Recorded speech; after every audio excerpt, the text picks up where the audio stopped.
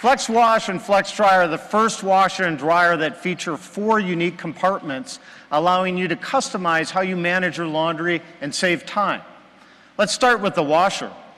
We've learned from our popular active wash models that customers really appreciate the versatility of the built-in sink. So we've taken it to the next level by building in a second washer.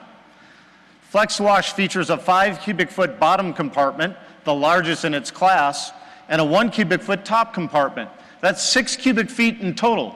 No other washer offers this much capacity and the ability to customize your laundry process in a way that makes most sense for you.